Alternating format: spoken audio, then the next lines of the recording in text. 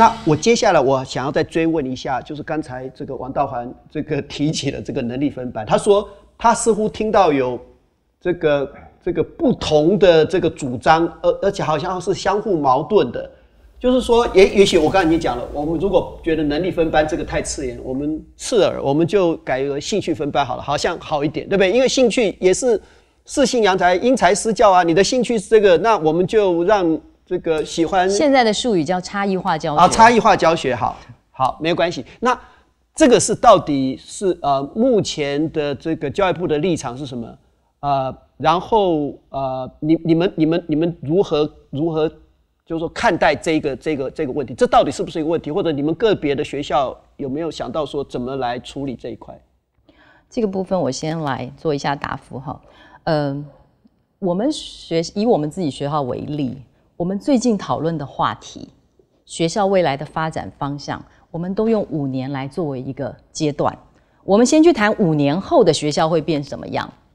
其实我也很希望，如果国中端的发展。刚刚陈校长讲的课程跟教学的发展，也同样用这样子的策略或这样子的模式来讨论的话，我们比较容易找到我们现在到底该做什么事。也就是说，刚刚主持人说的哈，王教授说的这个嗯能力分班的问题，哈差异化教学的问题，所有的学校在一百零三年会面对到更严峻的考验，就是所有进来的孩子，我们真的他他不是像过去一样，就是非常等齐的分发进来了，于是我们的学生的程度的范围是扩大的。那在这种情况下，我们到底要怎么做到？呃，所谓的能力，或者是兼顾他的能力，兼顾适性，兼顾兴趣，然后兼顾我们学校能够负担得起的我们的师资、我们的员额、我们的老师的学科专业等等，这是一套非常复杂的系统。那在这系统之下，我们只好把时间拉长去看，说五年后我们期望我们的校园是一个什么样的现况，然后再回推回来，现在该做什么事情。那最近我们的讨论呢，有了一点点小小的结论，就是。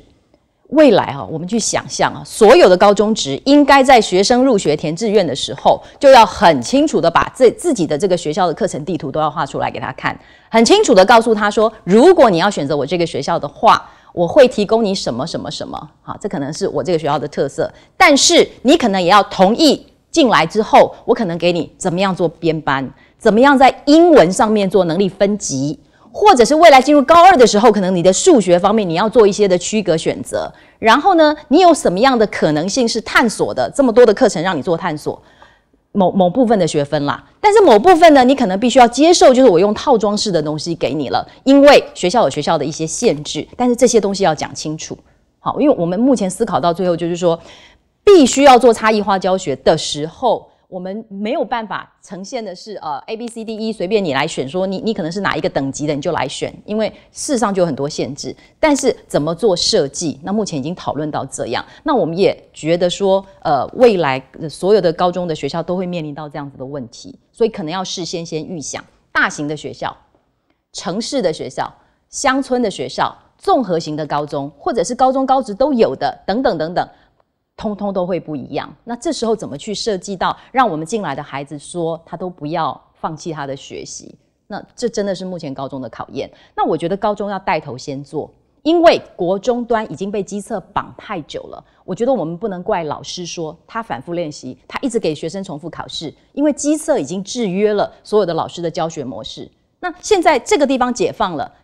呃，短时间之内那个惯性是没有办法立刻调调整过来的，所以我其实会建议，就是全国的呃高中高职的老师应该要就是先从我们自己的学校的改革开始做起，先来做课程的发展，先来做教学的翻转，先来做老师专业的这个在尤其在评量方面怎么做调整。那这个部分带头做了以后，我觉得国中端是可以跟上的，但是我刚刚还是讲，就像陈校长说的，没有办法一步到位。那我预估是五年到十年，这个部分才有办法慢慢调回来。那至于刚刚讲的那个入学制度的那个部分，呃，目前是拉的有点过来。那未来可能看看今年的情况怎么样。如果有一些的状况发生，我相信还会做一些的调整，可能会来来回回的修正，大概是这样。那么建中的应用方式是什么？就是针对就是说学生的这个差异这个变大这一点，我我们其实在两年前就已经成立了一个课程规划小组。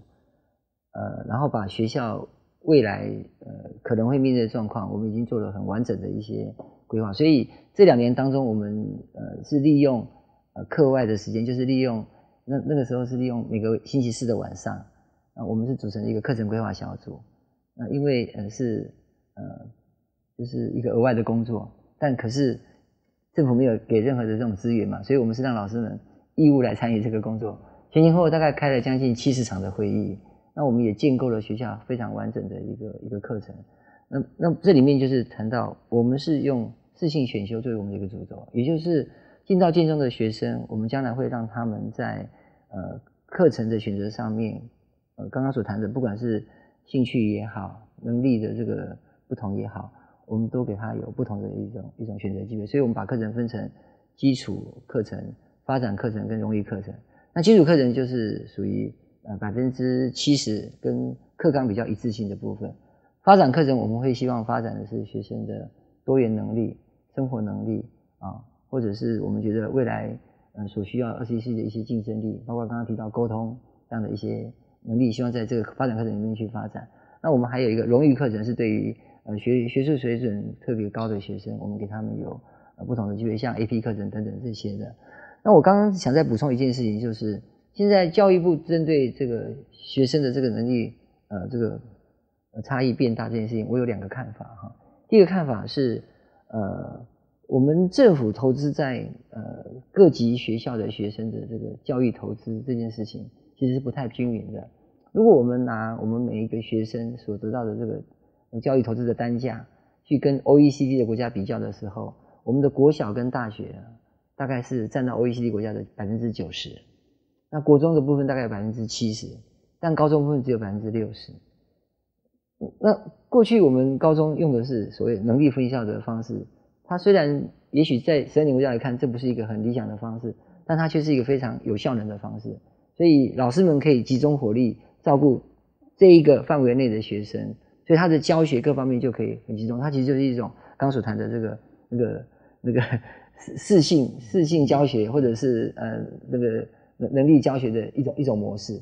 但现在我们要把这个模式打破，可以，也许我们说这个这个方式是更文明的方式，那当然你就要投入更多的资源，因为国外它之所以能够呃做到就是适性教学，它其实是用很小班，一个班二十五个学生甚至更少。我在国外看他们的 A P 课程班级，一个班是七个学生在上课，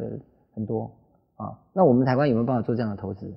所以你必须给更多的资源。所以如果我们只是我们目前这个对于十二年国教教育部所谓的投资，其实不是放在这一块当然不是放在这个免学费，它是免学费嘛，免学费占掉了百分之六六七十的这个比例嘛。然后现在我们用差异化教学，谁能够来促成这一点呢？这个我完全听得懂校长的意思，我也我也同意。是，所以差异化教学这件事情，我们等于是把这个责任就交给了老师。这个应该是所谓就是说，老师你要帮我达到差异化教学，不然你就是没有没有达到任务。这个其实是不公平的，对老师讲也很不公平。因为具体的说，那个能力分班到底教育部支不支持呢？呃，具体说他们不支持，对，具体说就是不支持。所以他们拒绝承认这个状况，那当然也就不会投入资源了。呃，教育部的意思是说，你可以用选修的方式，但是你不可以用分班的方式这样子。那这件事情又牵到另外一个问题，就是我讲的那个班级导师制，就是我们讲的班级制跟导师制这个问题。今天，如果我们要我们的学生进到一所高中以后，他可以做这个很多课程的选修，不管是兴趣的选修也好，能力选修也好，那势必这些学生他在一个班级里面成班的这种过去的这种班级管理方式就应该不复存在了。对，啊，换句话说，我们应该针对班级制的这个新的这个方式跟定义要重新去思考。那导师的责任也要重新思考，因为对于假假设今天我是导师。我的班级的学生每一堂课都都到处去选修，我怎么去带这个班？所以导师的这个角色跟他所负担的责任，跟导师的这个方式都要改变。所以他应该从过去的班级导师改成所谓的个人导师。就是比如说我今天是导师，我也许就像这个这个学生进来以后，我要把一千个学生分配给两百个老师，每个人就就看五个学生，那这五个学生就是我的导生，那我就他的导师，然后带他三年，而不像过去一样我要带一个班带带带三年。所以这些东西都一起要去要去思考的。所以我们好像不能够那么简化的，就是说，当我今天要用四性扬才的时候呢，用过去传统的班级制去运作，然后用差异化教育就可以解决所有的问题，它其实没有那么单纯。所以这个我同意，就是说，对我来讲，这个是显而易见的这个事实了啊。可是好像这个，也许这个这个道行讲没有错，就是说，我们现在社会对于这一点好像。这个我们也许在我们在座各位都觉得说这个是应该是有高度共识的事情，可是实际状况可能不是如此，尤其是资源的确应该在在这个呃投入在这一块上面。